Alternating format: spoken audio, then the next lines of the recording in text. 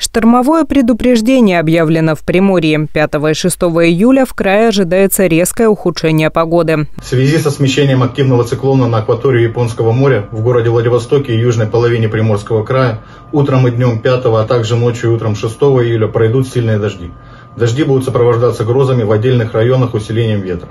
Возможно кратковременное подтопление пониженных территорий ливневым и склоновым стоком.